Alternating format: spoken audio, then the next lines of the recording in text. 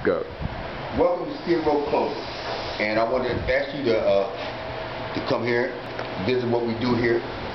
Uh, Skid Row Clothing is a subsidiary of Skid Row 3 on 3 Streetball League. You see what we got here. We want to thank John Ferber for Secret Millionaire of making Skid Row uh, clothing a reality, but we need your help. We need to get our rent paid.